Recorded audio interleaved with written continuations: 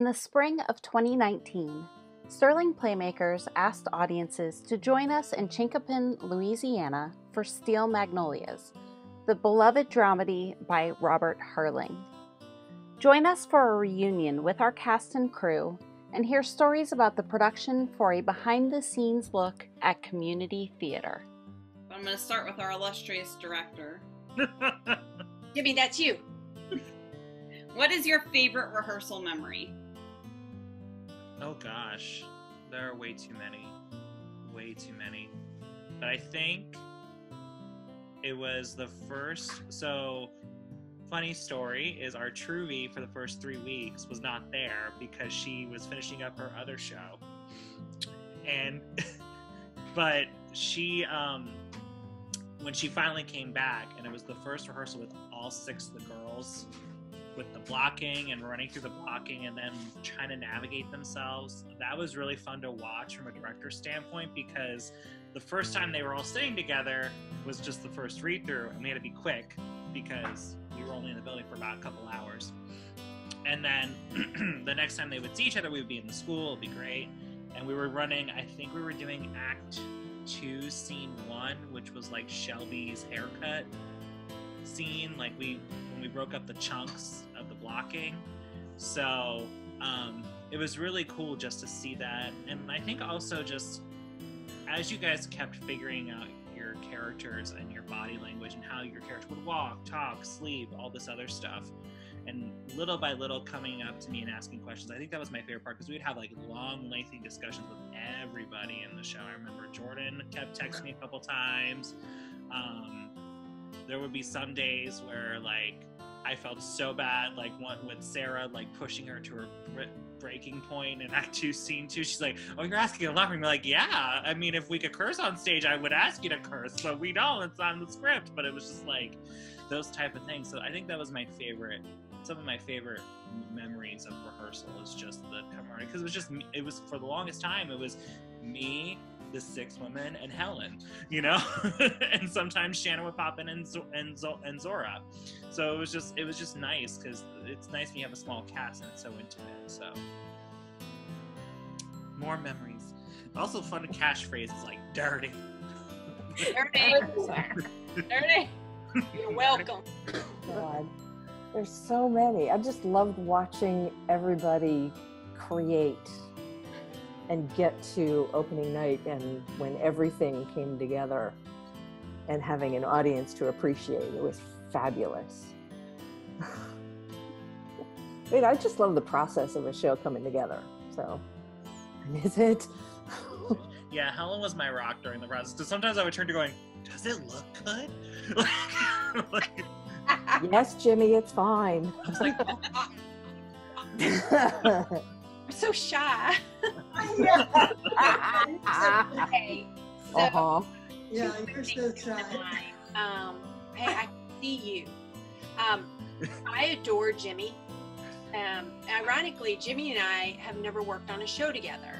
We met via Kim Fry at Kim Fry's annual party.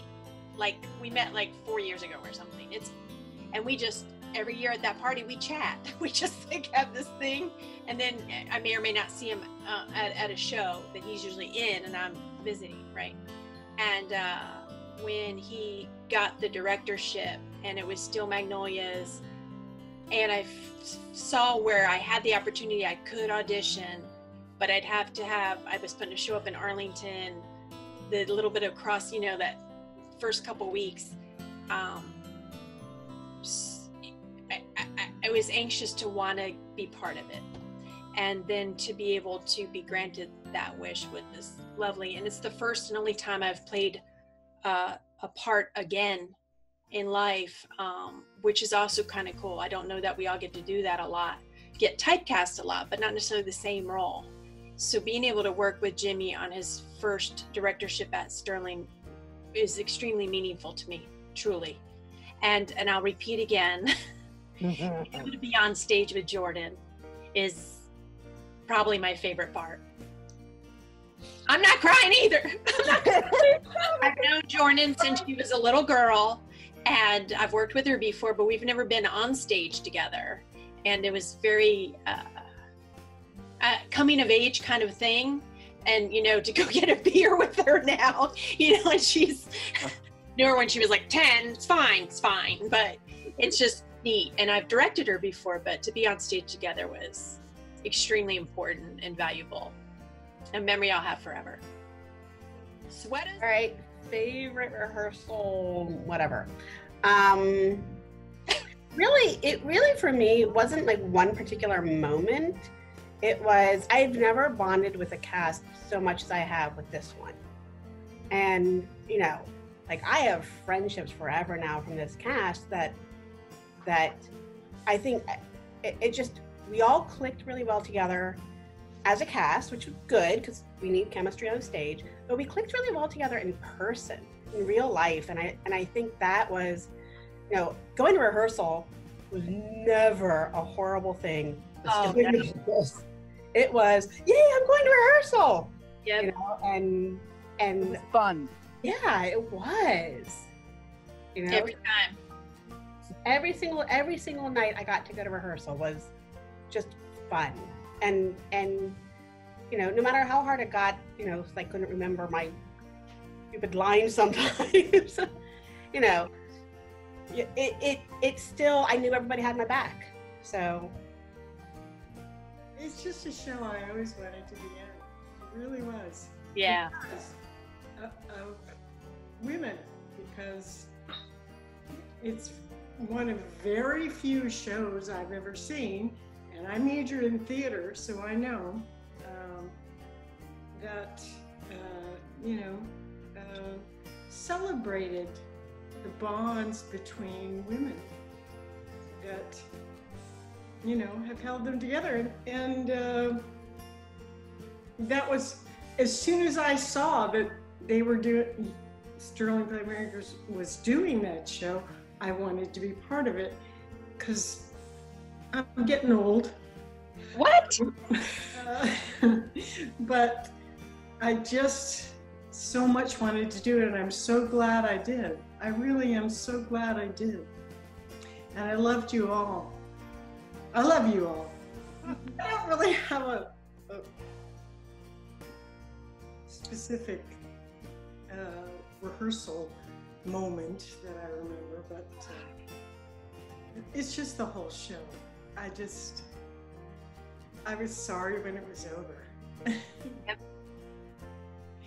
And uh, I would love to do it again. just like the other ladies, I don't think that I can pinpoint one specific instance where everything was great because the entire process was just so amazing. From meeting everybody at the audition to callbacks, I felt so connected with all of the ladies to our first read through. Like there were there was just an instant connection between all of us on stage, between all of us with the technical team, the producing team, with everybody who was involved with this show. It was probably one of the most cohesive units I've been a part of. And as the other ladies were saying, it was a joy to come to rehearsal every time. Um, um, I loved, um, I think one of my favorite moments that I remember was when we, and we did this several times while Tech was building the set on stage, and we were like, all right, we just got to do line throughs. And like, I distinctly remember us sitting in the back of the auditorium, all just sitting together, and like one person would have a script out, and we're like, all right, we're gonna get this scene. Like, we're gonna get it. Yeah. And like, several times we just laughed, and we just kept laughing, and we wouldn't get through the scene for like 20 minutes. Because we were we- laughing.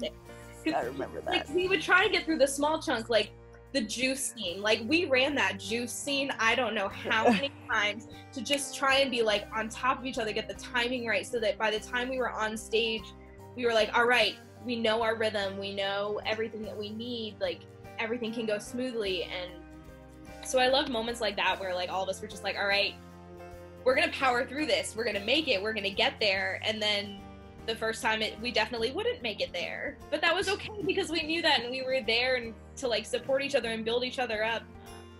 I think the support of everyone throughout the process was my favorite. Getting to share the stage with liz of course like after being under her direction when i was younger and like now getting to share the stage with her and go out for drinks afterwards and like just share something that she has put so much of her life into it, so much dedication, and you can see it as a director, but you see it even more when she's on stage, getting to be there for Emily's first like role that had like her second show ever, and like Karen, was this your third show? Uh, Fourth? it was my fourth show, but it was like my first show with a named character. Right. It was such a great mix that we all made each other better and we all figured out how we could like make this show the best that it could be. And I really think it was. That's a great testimony to Jimmy. It really he he put I cannot say enough great things about Jimmy and how he directed this show. um, she hosted me at her house like two or three weekends in a row to just mentor me and take the time to help me run through my lines because my most memorable like rehearsal memory was not great. It was a night where I just oh, I couldn't get it together. Um, but the entire cast just supported the efforts that I was making. Um, Sarah texted me, my mom, um, and just being really encouraging. And um, Janet just sat with me, and we would go over lines. She would just run them with me, and it made such a difference. Um, it helped me, you know, of course, learn the lines, but also just the time that she took to spend with me was really special. Um, and I really appreciated that from her. I don't think I would have been able to do it without this cast, like this specific group of people who is just so um, loving and, and um, supportive at the same time. Lost you guys for a minute. Um, You thought somebody slapped you and chased you. I got slapped out of the Zoom meeting. Hey, I have a t-shirt. I have a t-shirt that says I slap Ouiser Boudreaux. So we all do except Karen. We all do, except Yes, and that that's one of my that is like it's a little thing, but it was really meaningful to me when uh Shanna said, "Oh, well, we're gonna have these shirts and say I slapped Ouiser Boudreaux," and I was really afraid to ask her this, uh, but I was like, Shanna, could I just have mine not say that? Could I just have Ouiser Boudreaux on the back of my shirt? And she was like, Sure, we can do that. And I was so touched because I was really afraid to ask to have like something different on my shirt. So that was uh, that was really special to me that I got to do that. Um, I think my favorite memory um, was not at rehearsal, but there was this one time when we all went out to dinner at Burton's. I think it was before rehearsal, maybe. We were all at dinner and we were just we were talking to each other, but we were consistently like just conversing using lines from the show. they like kept coming up. And then the um the server um that there's this girl, she was serving us and we were talking to her about it. And we got the when we had the girls' night dinner. Yeah, yeah, and and remember she uh she was telling us about this guy that she liked who worked. You know, he came in while she was working, and we were like tell, giving her advice and everything, and she was like We all excited, and we were telling her about the show. And didn't didn't she say like she was like really young or something, and she hadn't heard of the show or Yeah, something? yeah, we had to explain it to her, but we got her really excited about it. We gave her a business card and everything. But that was like that was a really that was a really bonding moment. Like we we had a lot of, you know, the rehearsal time was really good, but that kind of stuff is what I remember best. And then I got to do really really fun things that that I had I had so much fun like being Ouiser like and and I was really grateful to Jimmy for letting me kind of run with it and do things that weren't technically in the stage directions. Like, I don't think any of us was not really crying at the end. We were all like really crying in the last scene. But you not. Yeah. But that, I mean, but that's how powerful it is. I mean, we were supposed to be pretending to do it, but we were all really moved, you know? I cried every Every time from time. the first read through when I showed up to rehearsal, that first read through with my box of tissues, to the last time that I snuck into the back of the theater after I did producery things to watch that scene every time and just ugly cry. Aubrey thinks she ugly cries, and I don't know. I haven't seen it, but I'm pretty sure I ugly or cry. Um, every every single time I was a wreck because it was just so good. Not really. Like I think my favorite was, you know, after the gun the gun scene where the they shoot the gun and then the, all the women run off of stage. we had to be in the wings because we then we were prepped. We were going going to go in and like reset the the uh, the set and um and so it would be fun because it was like we we'd see them coming. I'd be like, all right, they're coming, and then we'd just peel up and like get out of their way, and they'd run off, and then we'd run on. So. But There was this one rehearsal where I came in with like my craft box of hot glue and yards and yards and yards of ribbon. And it was one of the days you guys were sitting in the back of the theater doing the read through. And you all kind of like took turns coming over and helping me with the gray awareness ribbons. Yeah.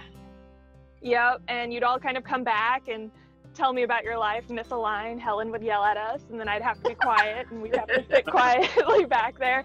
And then then whoever it was would then leave and then someone else would come back and then hot glue with me we'd get chatty helen would be like judith come on and then after a while i just sat there quietly by myself looking on going like ah, helen took all my friends away Sorry. there was a priority. no. oh, it- there absolutely was, and I was being a distraction. Absolutely, I know, but still. But um, funny enough, after that, like this was around the time of the government shutdown, and me and my husband were affected by that.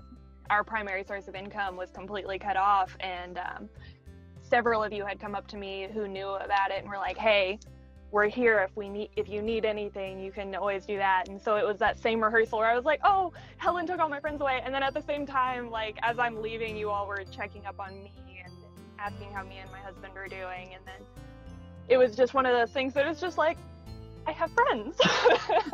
Yes, like i knew i did. I knew i did. But it was just one of those things like i didn't go out seeking out anything but those who are aware of my my husband's job situation then came up to me and were like hey we know this is going on. Are you guys good? And it was just one of those like really touching moments where i was just like okay. And i'm not gonna lie i ugly cried the whole drive home and that was like an hour long drive. So you guys you guys really put in the time there.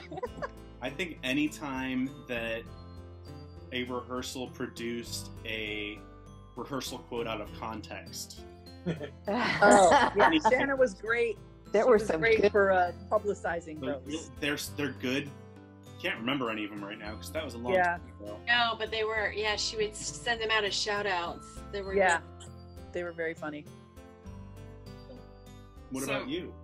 Um, my favorite was the rehearsal at the community center on Jimmy's birthday when we all walked in individually or maybe in small groups. I know I walked in by myself with giant hair and bright eyeshadow, and clothes that I could find. but you know, like Jordan mentioned with the celebrating the birthdays, I just that was so much fun to get to actually, you know, plan something for Jimmy. Um, as mentioned, I brought snacks because that's kind of my thing. Um, you know, I know that Jimmy likes lemon in particular, so I made him some lemon cupcakes. Those were awesome cupcakes. They were. They One of my favorites, and then, then I think some of the others were more Jimmy and I one-on-one moments of, um, you know, him telling me that we really needed to schedule a cue to cue, and I kept reminding him that we needed to schedule cue writing first. Helpful, yeah. Oh, It usually helps to have cues for a cue to cue.